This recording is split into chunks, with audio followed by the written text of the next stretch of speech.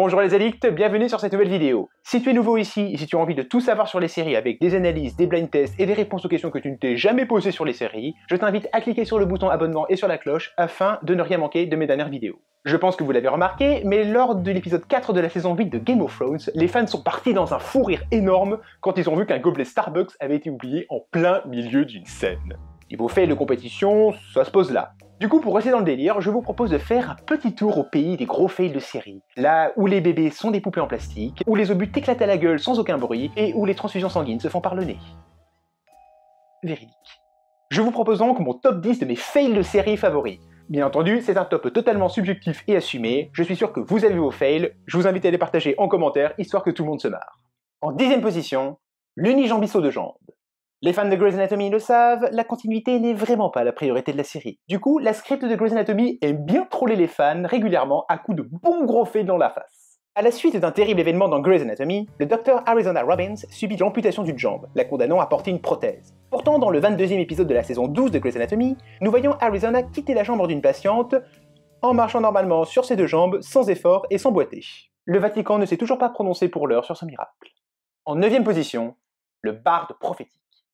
Je vous avoue, j'ai un faible pour les anachronismes gros comme une maison. Il arrive qu'une série historique fasse figurer une chanson, un événement, un objet qui n'existait pas à l'époque, avec au plus quelques décennies de décalage. Mais la série Xena la guerrière a apparemment décidé que ce n'était pas assez.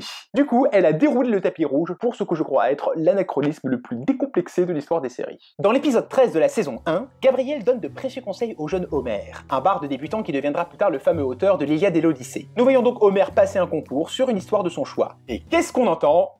I sing of Spartacus, rebel gladiator. Oui, messieurs, dames, Homer chante les exploits de Spartacus, qui a vécu 800 ans plus tard.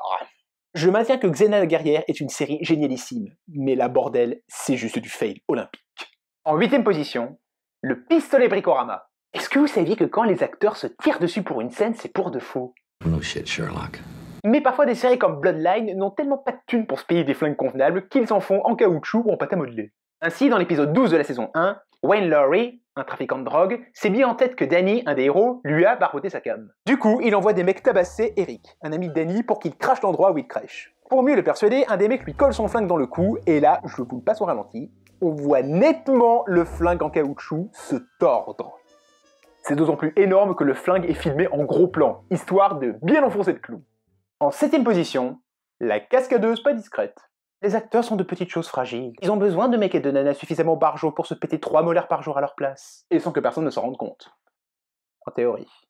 Dans le septième épisode de la saison 5 de la série Chapeau melon et bottes de cuir, l'espionne anglaise Emma Peel donne gratuitement un assortiment de mandales et de châtaignes à des gardes russes. Le réalisateur de l'épisode trouve alors rien de mieux à faire que de filmer sa doublure en gros plan.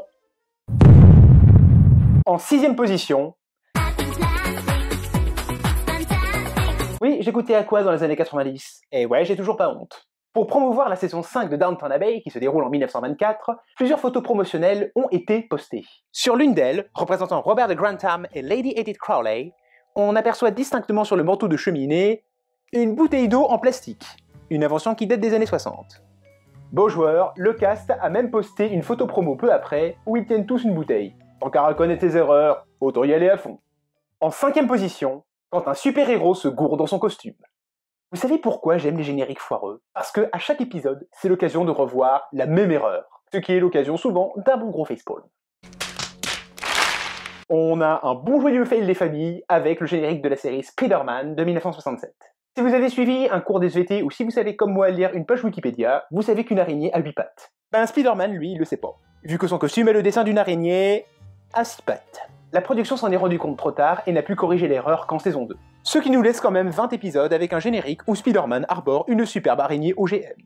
En quatrième position, l'appartement gruyère. Ah, celui-là, c'est du fail de pro. Vous savez comment on tourne une scène dans un espace clos? Ben, vous percez des trous dans les murs, vous mettez les câbles derrière et vous filmez l'intérieur. Sauf que parfois, à force de faire des champs contre champs, bah vous vous retrouvez à filmer un des trous dans le mur. Et c'est assez spectaculaire à voir. Dans le premier épisode de la saison 10 de Friends, Joey et Rachel s'embrassent fougueusement dans l'appartement de Joey. À ce moment-là, Rose débarque dans la pièce, et l'on voit assez nettement à droite un énorme trou carré qui donne sur le hall de l'immeuble, le trou où est censé être la caméra du contre-champ. Et voilà donc Joey, propriétaire d'un appart avec vue sur le hall. En troisième position, quand le département CGI fait la grève de la faim. Celui-là, je vais pas m'y étendre longtemps vu qu'il est assez connu. Mais ça reste quand même un cas assez rare d'effets spéciaux contemporains tellement ratés que tous les internautes l'ont raillé sur les réseaux sociaux. Dans l'épisode 12 de la saison 7 de The Walking Dead, Rick grimpe sur une grande roue pour échapper aux rôdeurs, et tombe nez à nez avec une biche en CGI aussi crédible qu'un scénario de Luc Besson.